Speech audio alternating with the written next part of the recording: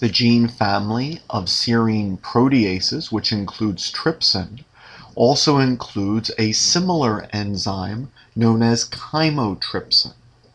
Chymotrypsin is also a protease that possesses an active site composed of histidine at residue 57, aspartate at residue 102, and serine at residue 195.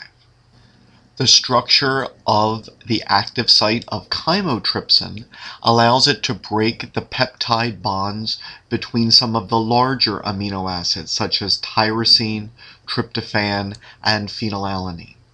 It may also break bonds between other amino acids, especially if a leucine or methionine are the amino acids on the carboxyl side of the peptide bond but tyrosine, tryptophan, and phenylalanine are the major amino acids where peptide bonds are broken.